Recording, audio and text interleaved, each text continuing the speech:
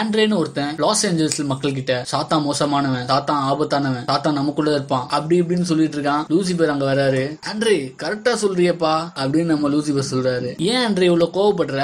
ஜாலியா சொல்லு அப்படின்றான் நம்ம லூசிபர் ஆண்ட்ரே கேக்குறான் டெவில நீ பாத்திருக்கியான்னு நம்ம லூசிபர் சொல்றாரு டெய்லி கண்ணாடியில அதை பாக்குறான்பா கரெக்டான்னு சொல்றான். கரெக்டா சொல்ற. நம்ம கிட்ட எல்லார்கிட்டயும் இருக்கு அந்த டெவில் நம்ம உடம்புல தான் இருக்கு அந்த டெவில் அப்படின்னு நம்ம ஆண்ட்ரே சொல்றான். பாவம் காமம் இதெல்லாம் டெவிலோட சூழ்ச்சி அப்படின்னு நம்ம ஆண்ட்ரே சொல்றான். அதுக்கு நம்ம லூசிபர் சொல்றாரு என்னையே எல்லாத்துக்கும் சொல்லாதீங்கப்பா. நீங்களும் அந்த சில விஷயம் பண்றீங்க. அப்படின்னு ஆண்ட்ரியூ லூசிபர் காத்துக்கிட்ட வந்து ஏன் இங்க வந்து டிஸ்டர்ப் பண்ணிட்டு இருக்கேன் டிஸ்டர்ப் பண்ணாதுன்னு சொல்றாரு. லூசிபர் சொல்றாரு டேய் நீ நடிக்கிறியா? ஒரிஜினலா நடிக்கிறியாப்பா? அப்படின்னு ஆண்ட்ரூ லூசிபரை கிளம்ப சொல்றாரு. லூசிபர் கடுப்பாகிறாரு. பொய் சொல்றவன் எனக்கு பிடிக்கவே பிடிக்காது. அதே மாதிரி நம்பாதவங்களையும் எனக்கு பிடிக்கவே பிடிக்காது. உன்னை நான் இப்ப நம்ப வைக்கிறேன். அப்படின்னு அவர் லூசிபரோட டெவில் பேச ரிவீல் பண்ணுவாரு. ஆண்ட்ரூ திருச்சி ஓடுவாரு. துண்டை காணா துணியை காணான்னு திருச்சி ஓடிடுவாரு. இவன் சேத்தான் இவன் சாத்தான்னு சொல்லிட்டே ஓடுவாரு.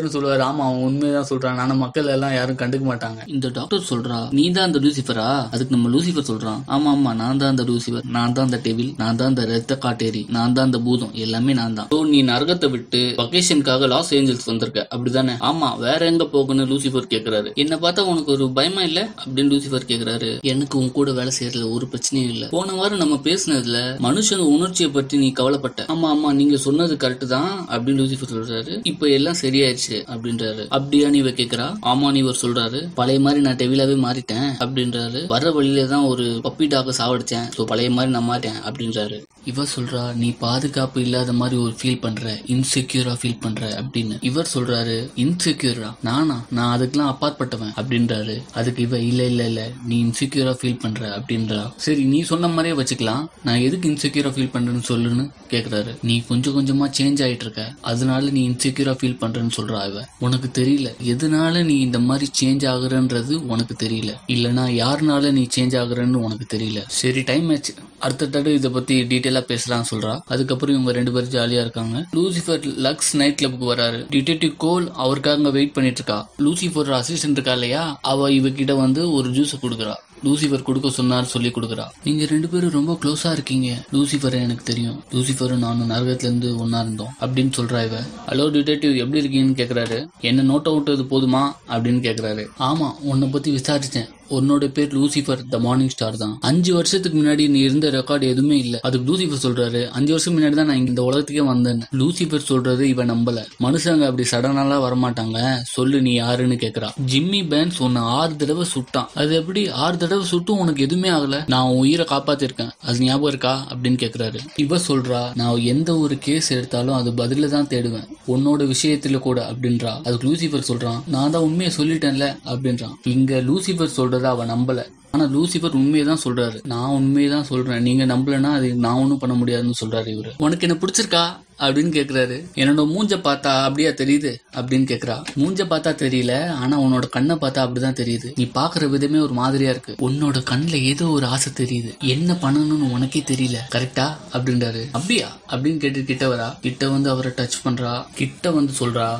புல்லட் ப்ரூஃப் ஜாக்கெட் போடல. எப்படி ஆறு தடவை சுட்டும் நீ தப்பிச்ச? எனக்கு புரியவே இல்லை. அப்படின்றா. உன்னோட சீக்கிரட்டை நான் கண்டுபிடிக்கிறேன். அப்படின்றா. இதுல சீக்ரெட் எதுவும் இல்லை. நான் சொல்றதெல்லாம் உண்மை. அப்படின்னு ருசிவர் சொல்றாரு. நம்ம ரெண்டு பேருக்கும் சீக்ரெட் இருக்கு. உன்னோட சீக்கிரட் ரிவீல் பண்ணு நான் என்னோட சீக்கிரட் ரிவீல் பண்றேன் ஓகேவா அப்படின்னு லூசிபர் சொல்றாரு. இவளுக்கு கால் வருது அட்ரஸ் சென்ட் பண்ணுங்க அப்படின்னு சொல்றா இவ கால்ல என்னாச்சு ஒரு மாதிரி ஆயிட்டீங்க? என்ன பிரச்சனை? அப்படின்னு லூசிபர் கேக்குறாரு. ஏய் டிடெக்டிவ் போகாத சொல்லுங்க அப்படின்னு சொல்றாரு. ஆனா அவங்க கேட்காம போயிடுறாங்க. டிடெக்டிவ் கோல் ஆக்சிடென்ட் ஆன ஒரு ஸ்பாட்டுக்கு வராங்க. என்னாச்சுன்னு இவ கேக்குறா? இந்த பத்திரிகைக்காரனுங்க இவனை துரத்துட்டே வந்திருக்காங்க. இவன் வேகமா வந்ததுனால இவன் ஆக்சிடென்ட் ஆகி செத்துட்டான். யார் இவனை ஃபாலோ பண்ணதுன்னு இவ கேக்குறா? இந்த பத்திரிகைக்காரன் ஒருத்தன் தான் அப்படின்னு இவன் சொல்றான். செத்து போனவன் பேரு ராபி. அவங்க அப்பா ஒரு பெரிய மூவி ஸ்டார் இந்த பத்திரிகைக்காரங்க ராபி பின்னாடி கழுகு மாதிரி சுத்திட்டு இருந்தானுங்க. சோ அவங்க கிட்ட இருந்து தப்பிக்க ட்ரை பண்ணி ராபி செத்து போயிட்டான். அங்க பாருங்க லூசிபர் இங்க வந்துட்டாருன்னு சொல்றாரு இவரு. உனக்கு இங்க என்ன வேலை? அப்படின்னு இவ கேக்குறா. உன்னோட முன்னாள் ஹஸ்பண்ட் எப்படி இருக்காருன்னு? லூசிபர் கேக்குறாரு. போலீஸ் ஒருத்தன் அரெஸ்ட் பண்ணிட்டு போயிட்டு இருக்காங்க உனையே பாக்குறா. யார் எதுன்னு லூசிபர் கேக்குறாரு. அவன் ஒரு பத்திரிகைக்காரன் சொல்றா. நீ சின்ன வயசுல நடிச்ச ஹாட் டப் ஹை ஸ்கூல் படத்தப்போ அவன் தானே ரிப்போர்ட் பண்ணான் அப்படின்னு சொல்றாரு இவரு.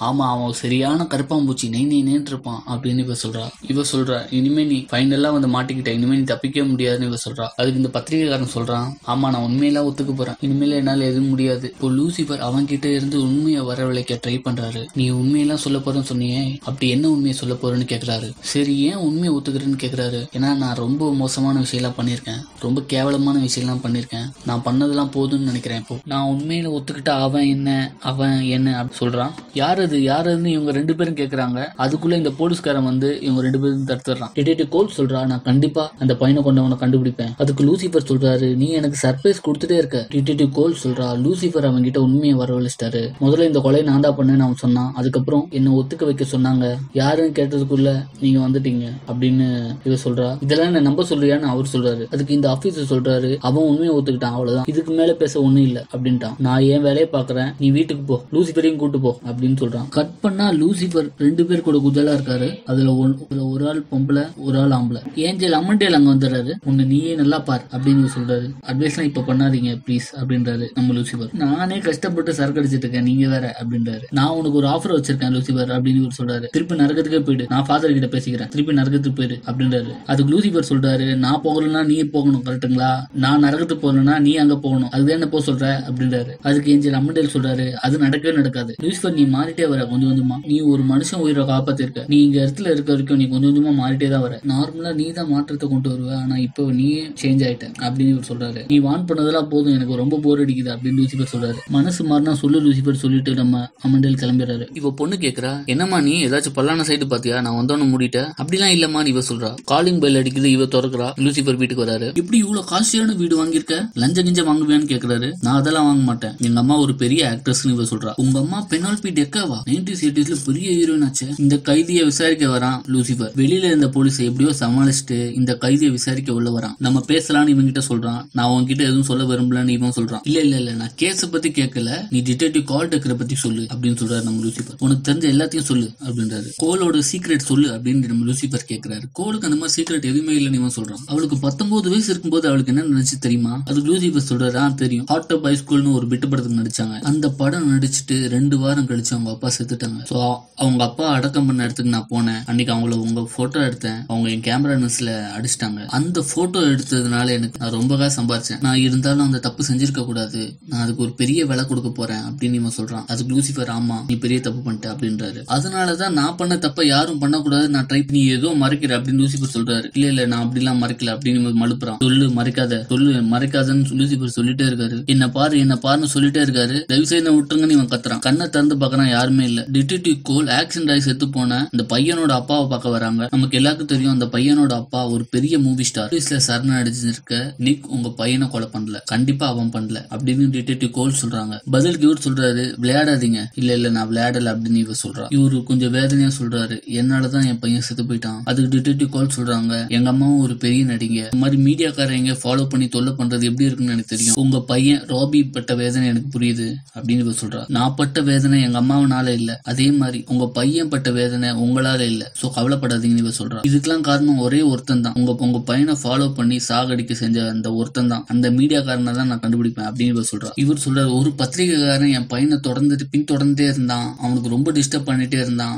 அப்படின்னு இவன் சொல்றான். யார் அதுன்னு இவ கேக்குறா. பையன் சொன்னா இந்த பத்திரிகைக்காரன் ஒரு தடவை தான் துரத்துனான் அப்படின்னு. சோ அதனாலதான் அவனை பத்தி நிறைய டீட்டெயில் அவன் என்கிட்ட சொல்லல. சொன்னதுக்கு நன்றி சொல்லிட்டு இவ கிளம்பிடுறான் லூசிபர் வருத்தப்படுறாரு. டிடெக்டிவோட பர்சனல் டீட்டெயில நோட் பண்ணதுக்காண்டி வருத்தப்படுறாரு. லூசிபர் கூட இருக்கிற ஒன்னு இன்னொரு டெவில் இருக்கால அவ சொல்றா என்னது? நீ வருத்தப்படுறியா? நீ நரக நீ நரகத்தின் ராஜாவாச்ச. நீனே வருத்தப்படுற? என்னாச்சு? நீ இந்த மாதிரி ஆள் இல்லையே? அந்த ஏமஞ்சல் அமண்டில் சொன்னது கரெக்ட் தான். நீ மாறிட்ட அப்படின்னு இவ சொல்றா. என்கிட்ட இந்த மாதிரிலாம் பேசாதுன்னு சொல்லி லூசிபர் கோவமா கத்திடுறாரு. டிடெக்டிவ் கோல் அங்க வரா லூசிபர்கிட்ட கேக்குறா நீ கிட்ட என்ன கேட்ட? அப்படின்னு. இந்த கேஸுக்கும் உனக்கும் சம்பந்தமே இல்ல. எதுக்கு தேவையில்லாம வர லூசிபர் அப்படின்னு இவ கேக்குறா. ஜெயில இருக்க நிக்க எப்படி நீ பாக்க போன? அப்படின்னு இவ கேக்குறா. இந்த கேஸுக்கும் உனக்கும் சம்பந்தமே இல்ல. எதுக்கு தேவையில்லாம இந்த கேஸ்ல வர அப்படின்னு இவ சொல்றா. சரி ஏதாச்சும் கண்டுபிடிச்சியா? அப்படின்னு கேட்குறா கேக்குறா?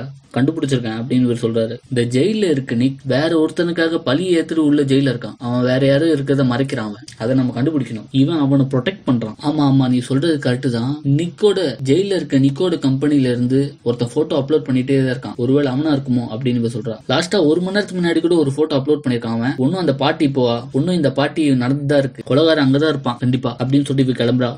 நீ என் கூட வரியா இல்லையான்னு இவ கேக்குறா? நானும் வரணுமா? சும்மா அப்படியே கலைக்கிற மாதிரி நம்ம ஆள் கேக்குறாரு. இப்போ லூசிஃபரும் கிளம்பி அங்க போறாரு. ஒரு பெரிய ஸ்டூடியோ மாதிரி இருக்க இடத்துக்கு வராங்க. அங்க பத்திரிகைக்காரங்களாம் சினிமாக்காரங்களை வளைச்சு வளைச்சு போட்டோ எடுக்கிறானுங்க. லூசிபரும் டிடெக்டிவ் கோலும் அங்க வராங்க. இந்த போட்டோ எடுக்கிற பத்திரிகைக்காரங்களை பாருங்க. அதுல இருந்து ஒருத்தன் தான் நம்ம கொலை பண்ணவனா இருக்கும் அப்படின்னு இவ சொல்றா. நம்ம லூசிபர் அங்க போட்டோ எடுக்கிற ஒருத்தனை முறைச்சு பாக்குறாரு. கண்டிப்பா அவனதான் இருக்குன்னு கெஸ் பண்றாரு. டிடெக்டிவ் சொல்றா ஆமா இவன் காலையில் நடந்த கிரைம் சீனும் போட்டோ எடுத்திருந்தான் அப்படின்னு. இவங்க ரெண்டு பேரும் பார்த்த அந்த இவங்க ரெண்டு பேரும் பார்த்த அந்த கொலகாரன் மர்சல் ஆகிறான். லூசிபர் அவன் கிட்ட வரான். சடனா அந்த பத்திரிகைக்காரன் சொல்றான். எல்லாரும் பாருங்க ஃபேமஸான ஆக்ட்ரஸ் பெனோல்பியோட பொண்ணு கோல் வந்திருக்காங்க அப்படின்னு அப்படின்னு சொல்றான். எல்லா பத்திரிகையாரும் நம்ம டிடெக்டிவ் கோலை வந்து போட்டோ எடுக்கிறாங்க. அவன் எஸ்கேப் ஆகிறான். கொலகாரன் கார்ல எஸ்கேப் ஆகிறான். மறுநாள் டிடெக்டிவ் கோலை பத்தி நியூஸ்ல வருது. இவ சொல்றா நான் நடிச்ச விட்டு படத்தை பத்தி என் பொண்ணு கேட்டா நான் எப்படியோ சொல் நான் எப்படியோ பேசி சமாளிச்சிட்டேன்னு போலீஸ்காரன் சொல்றான். இந்த ஆக்சிடென்ட்ல செத்து போனால அவனோட காரை பின்னாடி துரத்திட்டு வந்த காரை நான் கண்டுபிடிச்சிட்டேன். அது நிக் கம்பெனியில் உள்ள கார் தான். ஸோ ரோபி வந்து கண்டிப்பா அந்த கார் பின்னாடி துரத்திட்டு வந்ததுனால தான் அவன் செத்துருக்கான்.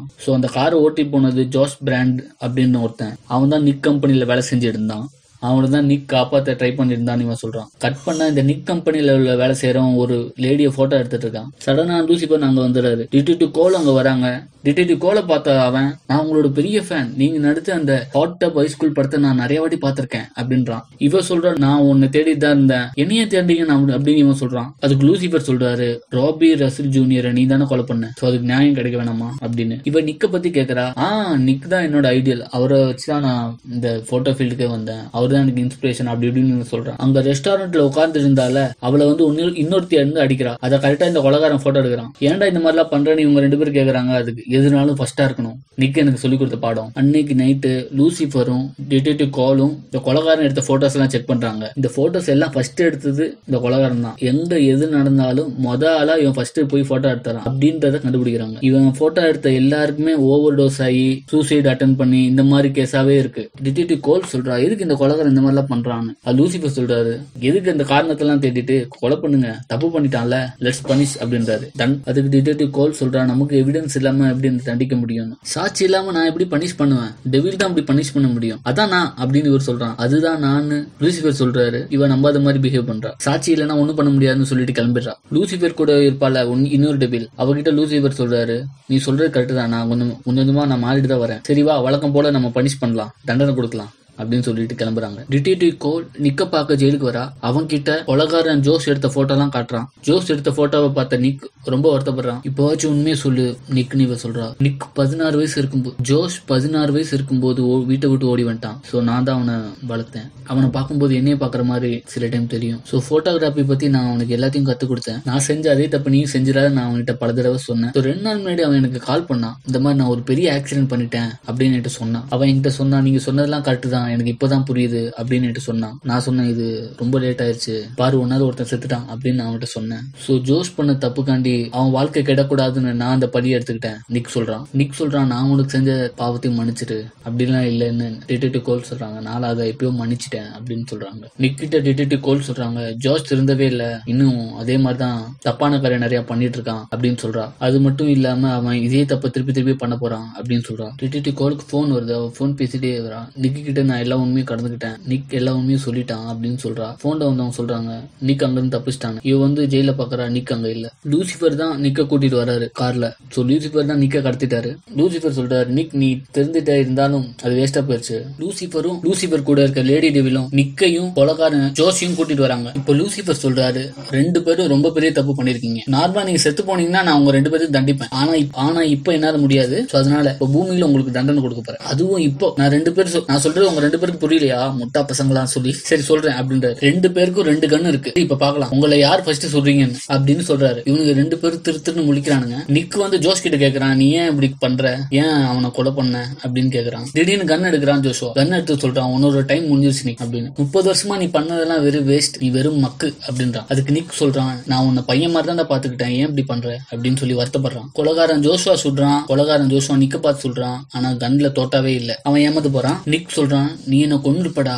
அப்படின்னு சொல்லி வருத்தப்படுறான். இப்போ நிக் அவங்கிட்ட இருந்த கண்ணை எடுத்துறான் ஜோஷுவா சொல்றான் நான் இப்ப தப்பு பண்ணிட்டேன் என்ன மன்னிச்சுக்கோ. திடீர்னு டிடெக்டிவ் கோல் அங்க வந்துறாங்க டிடெக்டிவ் கோல் நிக் கிட்ட பேசுறா நீ உன்னால பண்ண முடிஞ்சது எல்லாம் பண்ணிட்ட உன்னோட தப்பு இல்ல அப்படி சொல்ற அப்படின்னு சொல்றா. சொல்லி சமாதானப்படுத்துறா. ஆனா நிக் கேட்கற மாதிரி இல்ல. நிக் ஜோஷுவா பார்த்து சொல்றான் ஸ்லோ மோஷன்ல லூசிபர் அந்த தோட்டாவை எடுத்து ஜோப்ல போட்டுக்கிறாரு. ஜோஷுவாக்கும் ஒரு சம்மர் அடிக்கிறாரு. ஏஞ்சர் அம்மண்டேல் அங்க வராரு? லூசிபர்ட்ட சொல்றாரு என்னோட ஆஃபர் நீ ஏத்துக்கணும். ஏன் இப்படி மிஸ் பண்ற? நான் கொடுத்த ஆஃபர் ஏத்துக்கோ அப்படின்னு சொல்லி கேட்கிறாரு ஆனா லூசிபர் அதை ஏற்க மறுக்கிறார். ஏஞ்சல் அம்மண்டேல் அங்கிருந்து பறந்து போயிறாரு டிடிபி கோலுக்கு என்ன நடந்ததுன்னே தெரியல. அவளே ஒரு கன்ஃபியூஷன்ல இருக்கா. ஏன்னா நிக்கு ஷூட் பண்ணா? ஆனா ஜோஷுவா சாவல. போலீஸ் வந்துடுறாங்க. நிக்கியும் ஜோஷுவாவும் அரெஸ்ட் பண்ணிடுறாங்க. டிடெக்டிவ் கோல் சொல்றா. நிக் சுட்டதை நான் பார்த்தேன். ஆனா ஜோஷுக்கு எதுவுமே ஆகல. எப்படி லூசிபர் சொல்றாரு நான் புல்லட்டை காத்துல இருந்து எடுத்துட்டேன். என்னால டைமை ஸ்லோ பண்ண முடியும் அப்படின்னு சொல்றாரு. மறுநாள் டிடெக்டிவ் கோல் வந்து அவ மகிட்ட பேசுறா. நான் போலீஸ் ஆகிறதுக்கு முன்னாடி நான் ஒரு ஆக்ட்ரஸா இருந்தேன். நடிகையா இருந்தேன். நான் ஒரு படம் நடிச்சேன். அந்த படம் பேரு ஹாட் டப் இந்த படத்துல நான் ஒரு சில தவறான செயல்லாம் செய்வேன். சோ நான் செஞ்ச இந்த தவறான விஷயத்துக்காண்டி உன்னோட ஃப்ரெண்ட்ஸ் எல்லாம் உன்னை வெறுப்பேத்தலாம் கலாய்க்கலாம். நான் அந்த மாதிரிலாம் இப்ப இல்ல. நான் மாறிட்டேன் அப்படின்னு இவ கிட்ட இவ சொல்றா. அந்த சின்ன பொண்ணு கியூட்டா அப்படின்றா. எனக்கு தெரியுமா? நான் அதை பாத்திருக்கேன் இன்டர்நெட்ல பாத்திருக்கேன் அப்படின்றா. இந்த சின்ன பொண்ணு. எப்படி இருந்துச்சுன்னு இவ கேக்குறா? செம்ம காமெடியா இருந்துச்சுன்னு இந்த சின்ன பொண்ணு சொல்லுது. லூசிபர் இந்த டாக்டர் கிட்ட பேசுறான். நார்மலா எனக்கு என்ன நடக்க போகுதுன்றது எல்லாமே தெரியும். ஆனா இந்த பூமியில வந்ததுல இருந்து எனக்கு இதுக்கப்புறம் என்ன நடக்க போகுதுன்னு தெரிய மாட்டுது ரொம்ப பயமா இருக்கான்னு சொல்லி இவ கேக்குறா. இல்ல இல்ல எனக்கு ரொம்ப த்ரில்லிங்கா இருக்கு அப்படின்னு சொல்றாரு நம்ம லூசிபர் டிடெக்டிவ் கோல் எபிசோட் ஒன்ல பாத்திருப்போம்ல ஜிம்மி. அவரை பார்க்க ஜெயிலுக்கு வரா. என்ன ஏன் ஷூட் பண்ணுன்னு சொல்லி இவ கேக்குறா. ஆனா ஜிம்மி பதிலே பேசாம இருக்கான். ஜிம்மி அன்னைக்கு என்ன நடந்ததுன்னு ஒழுங்கா சொல்லுன்னு இவ சொல்றா. அன்னைக்கு என்னாச்சு? அன்னைக்கு லூசிபர் என்ன பண்ணான்னு சொல்லி கேக்குறா. லூசிபர்னு பேரு கேட்டு நான் ஒரு பயத்துல திரும்பி பாக்குறான். லூசிபர் இங்க இருக்கானான்னு சொல்லி ஒரு மரண பயத்துல தேடுறான். விட்டுட்டு கோல் சொல்றா. லூசிபர் இங்க இல்ல பயப்படாத. லூசிபர் இங்க இல்ல பயப்படாதுன்னு சொல்றான் ஆனா ஜிம்மி ரொம்ப பயந்த நிலையில ஜிம்மி கண்ணாடியில தலையில அடிச்சு அவன் தலை ஃபுல்லா ரத்தமா வடியுது. வெறி பிடிச்ச மாதிரி அடிக்கிறான். டாக்டர் நர்ஸ் எல்லாம் வராங்க. அவரை கெட்டி போட்டுறாங்க. அவருக்கு ட்ரீட்மெண்ட் பண்றாங்க. அவன் ஒரு டெவில் அவன் ஒரு டெவில்னு சொல்லி கத்துறான். எபிசோட் டூ முடியுது.